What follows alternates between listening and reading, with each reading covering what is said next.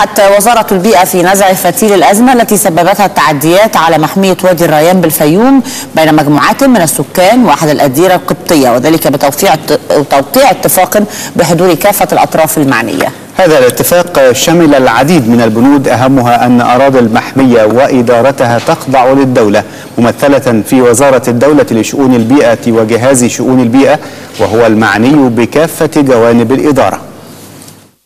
اتفاقية مبدئية بمثابة أساس للعمل الدائم وبداية للحل والتوفيق بين مصالح الرهبان والسكان المحليين لحل أزمة محمية وادي الريان بالفيوم.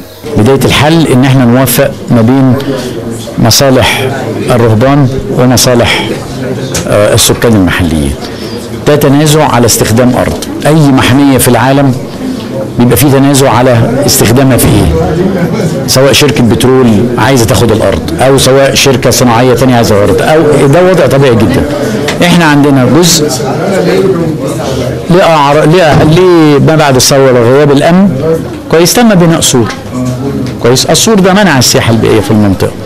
كويس فإحنا بنحل المشكلة إن إحنا ندير هذا السور لأن دي أرض أساسا. بتاعه الدولة محمية طبيعية ملك للدولة.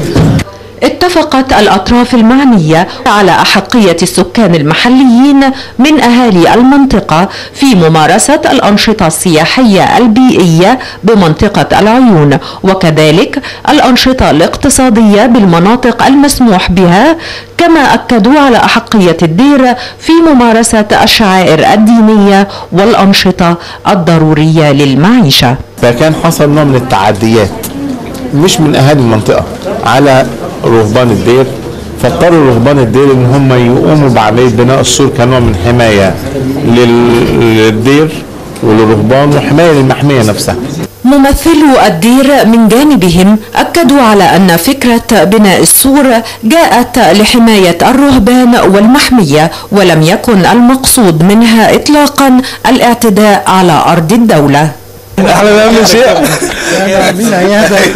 لا عامة إحنا بالنسبة لينا إحنا ما فيش اي ادنى مشكلة خالص تمام ما فيش ادنى مشكلة خالص بس هو الفرق ان إحنا السوق الخلاف ان إحنا إحنا انت إحنا اغلبية شغلنا إحنا بتوع اراضي ولا كان يلزمنا ما أنتوا جيتوا قبل كده قلت لكم قلت لنا تعالوا اقعدوا جنبينا هنا في العين الرابعة حصل قلتوا تعالوا بس إحنا مش لازمنا ارض ولا حاجة الحوار كليته ان إحنا بس حفاظا على المحمية وحفاظا على المكان كسياحة بيئية هذا وقد أكد الجميع على أن الوضع الراهن بمنطقة العيون الطبيعية بمحمية وادي الريان ليست له أي بواعث أو أسس دينية أو طائفية ولكنه اختلاف بين مصالح متعارضة على استخدام الأرض والعيون.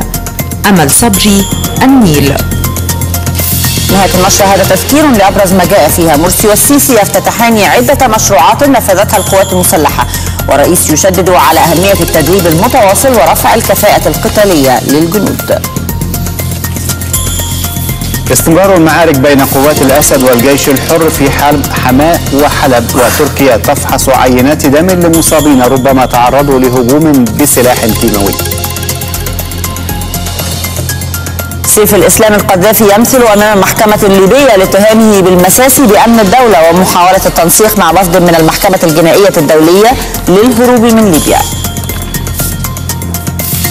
تأتي إلى هنا بانوراما الثالثة ولكن مزيد من التفاصيل يأتيكم على رأس الساعة مع موجز لأهم الأنباء. إلى اللقاء.